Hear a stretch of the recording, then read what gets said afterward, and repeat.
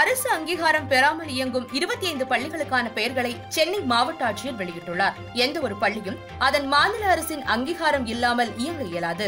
அதே போல ஒவ்வொரு மூன்று ஆண்டுகளுக்கு ஒருமுறை குழந்தைகளுக்கான இலவச மற்றும் கட்டாய கல்வி சட்டம் இரண்டாயிரத்தி ஒன்பதின் கீழ் புதுப்பிக்கப்பட வேண்டும். அரசு அங்கீகாரத்தை பெறுவதற்கு பள்ளியின் கட்டட நிலைத்தன்மை சான்றிதழ் தீ விபத்து பாதுகாப்பு சான்றிதழ் மற்றும் ஆட்சேபனை இல்லை என்பதற்கான சான்றிதழ் ஆகியவற்றை பெற வேண்டியது கட்டாயமாகும். மேற்கூறிய தகுதி இல்லாமல் அங்கீகாரம் இல்லாமல் இயங்கும் பள்ளிகள் கண்டறியப்பட்டு அவற்றின் பெயர்கள் வெளியிடப்பட்டுள்ளன.